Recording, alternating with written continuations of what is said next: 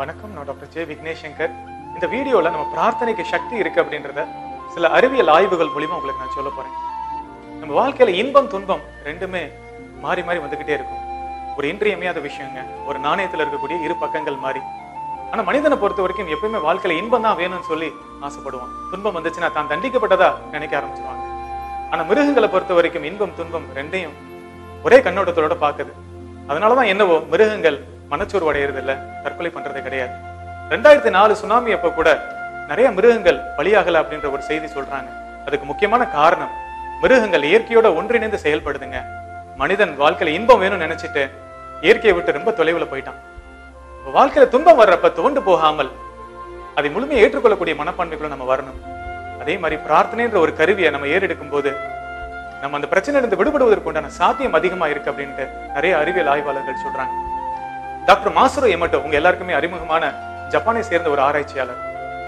அவருடைய ஆபீஸ்ல குழாய் தண்ணீர்ல அதிகமான குளோரின் இருந்திருக்கு.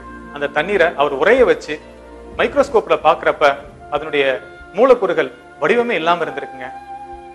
அவர் ஒரு ஐநூறு நபர்களை வெவ்வேறு ஸ்டேட்ல இருந்து தேர்ந்தெடுத்து ஒரு குறிப்பிட்ட நாள் குறிப்பிட்ட நேரம் சில நிமிடங்கள் நம்ம தண்ணீருக்காக பிரார்த்தனை செய்வோம் அப்படின்னு சொல்லியிருக்காரு.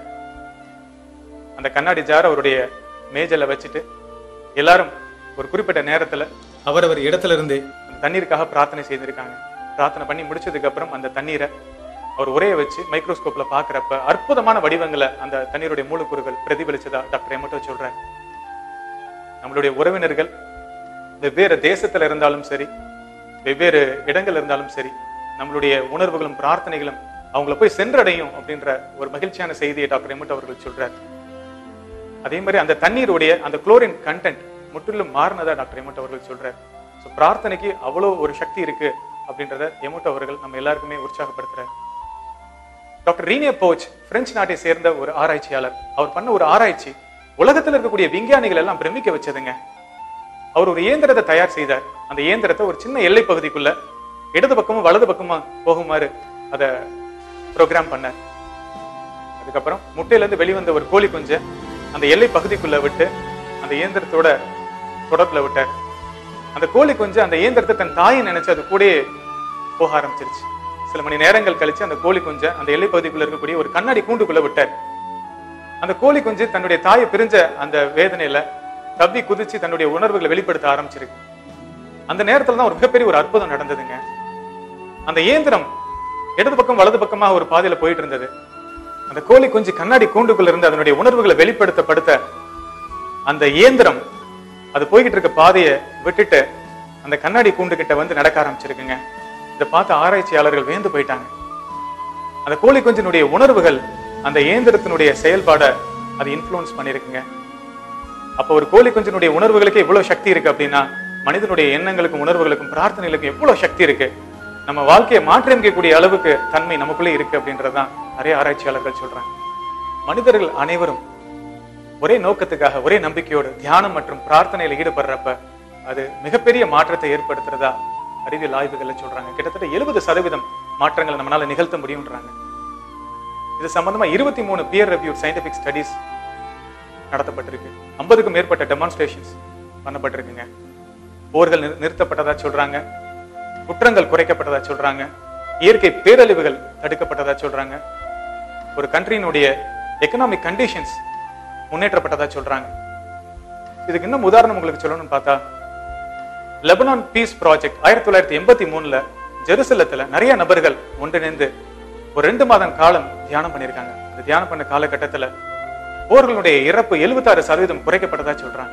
ஆயிரத்தி தொள்ளாயிரத்தி எண்பத்தி மூணுல இருந்து எண்பத்தஞ்சு வரைக்கும் ரேண்ட் கார்பரேஷன் அவங்க ஒரு எட்டாயிரம் நபர்களை தேர்ந்தெடுத்து கிட்டத்தட்ட ரெண்டு வருஷமா அவங்கள தியானம் பண்ண வச்சிருக்காங்க. அந்த தியானம் பண்ண காலகட்டத்துல 72% ரெண்டு சதவீதம் தீவிரவாத செயல்பாடுகள் உலகத்தில் குறைந்ததா சொல்றாங்க. அதே மாதிரி இந்தியால ஆயிரத்தி தொள்ளாயிரத்தி எண்பத்தி ஏழுல இருந்து தொண்ணூறு வரைக்கும் ஏழாயிரம் நபர்களை தேர்ந்தெடுத்து ஒரே நோக்கத்துக்காக அதாவது உலக அமைதிக்காக பிரார்த்தனை மற்றும் தியானம் பண்ண வச்சிருக்காங்க.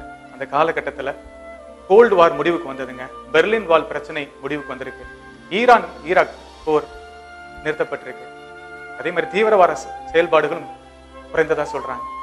ஆயிரத்தி தொள்ளாயிரத்தி தொண்ணூத்தி மூணுல அமெரிக்கால வாஷிங்டன் டிசில ரெண்டாயிரத்தி ஐநூறு பேர் கிட்டத்தட்ட ரெண்டு மாதம் தியானம் பண்ணியிருக்காங்க. அந்த தியானம் பண்ண காலகட்டத்துல இருபத்தஞ்சு சதவீதம் குற்றங்கள் குறைந்ததா சொல்றாங்க. சான் பிரான்சிஸ்கோ ஜெனரல் ஹாஸ்பிட்டல்ல அமெரிக்கால முன்னூத்தி தொண்ணூத்தி மூணு இருதய நோயாளிகளை தேர்ந்தெடுத்து அவங்கள ரெண்டு குரூப்பா பிரிச்சுக்கிட்டாங்க.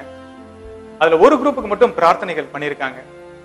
அந்த பிரார்த்தனை பண்ற நபர்களுக்கு யாருக்காக பிரார்த்தனை பண்றாங்கன்னு தெரியாது. அதே மாதிரி அந்த நோயாளிகளுக்கும் தங்களுக்காக பிரார்த்தனை பண்றாங்கன்னு தெரியாது. இதுல என்ன ஆச்சரியம் அப்படின்னா எந்த குரூப்புக்காக பிரார்த்தனை பண்ணாங்களோ அந்த குரூப்ல இருக்கக்கூடிய நபர்கள் ரொம்ப சீக்கிரமா குணமடைந்ததாக அந்த ஆராய்ச்சியில சொல்றாங்க. இப்ப நான் சொல்லக்கூடிய அனைத்து விஷயங்களுமே ஒரு முக்கியமான ஒரு நோக்கத்தை வெளிப்படுத்துதுங்க. எந்த ஒரு எதிர்பார்ப்பும் இல்லாமல் சக மனிதர்களுக்காக நம்ம செய்யக்கூடிய பிரார்த்தனைக்கு ஒரு சக்தி இருக்கு. மிகப்பெரிய அது மாற்றத்தை அது ஏற்படுத்துது அப்படின்றத நம்மளால புரிஞ்சுக்க முடியுது. இந்த வீடியோக்காக நான் என்ன தயார் செய்யும் போது எனக்குள்ள ஒரு உணர்வு வந்ததுங்க.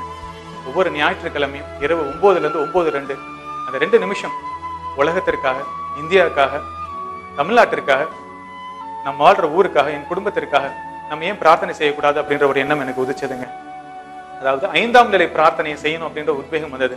அது என்ன? ஐந்தாம் நிலை பிரார்த்தனை நீங்க கேட்கலாம். டாக்டர் கிரேக் பிராடன் அமெரிக்காவை சேர்ந்த ஆராய்ச்சியாளர் அந்த ஐந்தாம் நிலை பிரார்த்தனை பத்தி நிறைய ஆராய்ச்சிகள் பண்ணியிருக்காருங்க. அதற்கு நல்ல பலன் இருக்கிறதாவும் சொல்றாரு. நம்மளுடைய இலக்கை நாம் அடைந்து விட்டதாக நினைத்து அதிகப்படியான உணர்வுகளை நம்ம வெளிப்படுத்தும் போது அந்த இலக்கை நாம் ஈர்ப்பதற்குண்டான நன்மை நமக்கு அதிகமாக வளர்றதா டாக்டர் பிராடன் அவர்கள் சொல்றாரு. அப்ப ஒவ்வொரு ஞாயிற்றுக்கிழமையும் ஒன்பதுல இருந்து ஒன்பது ரெண்டு நான் ஐந்தாம் நிலை பிரார்த்தனையை நான் செய்ய போறேன். இதில் நான் ஒருத்தர் மட்டும் செய்யறப்ப பலன் குறைவா தான் இருக்கும். எவ்வளவுக்கு எவ்வளவு நபர்கள் இந்த பிரார்த்தனையில கலந்துக்கிறாங்களோ அவ்வளோக்கு எவ்வளவு நமக்கு வந்து பலன் இருக்குங்க. இந்த வீடியோ பார்த்துட்டு இருக்கக்கூடிய சகோதர சகோதரிகள் உங்களுக்கு ஒரு உத்வேகம் இருந்ததுன்னா ஒவ்வொரு வாரமும் ஞாயிற்றுக்கிழமை இரவு ஒன்பதுல இருந்து ஒன்பது ரெண்டு நீங்க எந்த இடத்துல இருந்தாலும் உங்க கண்களை மூடி இந்த பிரார்த்தனை நீங்க செய்யலாங்க. ஒரு கோழி குஞ்சினுடைய உணர்வுகள் மூலியமா ஒரு இயந்திரத்தையே கட்டுப்படுத்த முடியும்னா மனிதர்களுடைய ஒட்டுமொத்த உணர்வுகள் பிரார்த்தனைகள் மூலியமா நம்ம மிகப்பெரிய மாற்றத்தை இந்த பூமியில நிகழ்த்தலாங்க. சுயநலமின்றி மற்றவர்களுக்காக செய்யக்கூடிய பிரார்த்தனைனால நம்முடைய வாழ்க்கையில வெளிச்சம் ஏற்படுங்க. இந்த கலெக்டிவ் கான்சியஸ்னஸ் அப்படின்வாங்க இந்த வீடியோ பிடிச்சிருந்துச்சுன்னா லைக் பண்ணி ஷேர் பண்ணுங்க. என்னுடைய YouTube channel doctor Vignesh Shankar. நீங்க சப்ஸ்கிரைப் பண்ணலன்னா சப்ஸ்கிரைப் பண்ணுங்க. நன்றி.